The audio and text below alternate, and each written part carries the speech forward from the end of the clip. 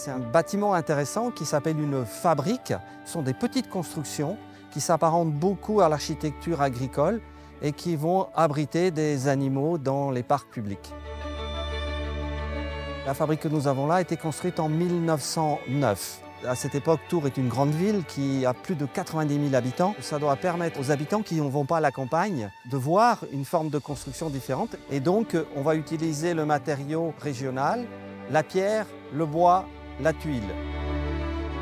C'est un bâtiment typique, unique. Ça fait des années qu'on le voit dégringoler et que rien n'est fait. Aujourd'hui, on a une grosse problématique sur la charpente qui est euh, très abîmée, où on a de nombreuses infiltrations.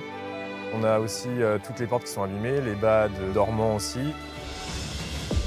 Aujourd'hui, on a la chance d'être lauréat de la Fondation. Donc là, vraiment, un grand, grand merci. C'est un énorme coup de pouce pour nous. L'objectif des travaux, c'est en fait d'essayer de conserver l'enveloppe extérieure tout en renforçant la structure intérieure. Donc on va recréer une structure bois en forme de tabouret qui va venir supporter toute la couverture et la façade extérieure. On part sur du euh, Douglas qui vient du Maine-et-Loire.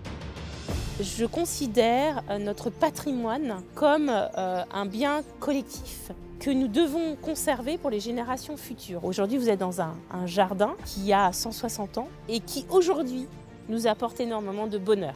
Deuxièmement, il ne faut pas oublier qu'on est sur la route de la Loire à vélo. C'est très important. Le tourisme patrimonial de nature et culture, c'est extrêmement important de ne pas lâcher et à faire en sorte que euh, les touristes étrangers, les touristes français puissent euh, en profiter quand ils viennent passer un petit séjour dans la belle ville de Tours.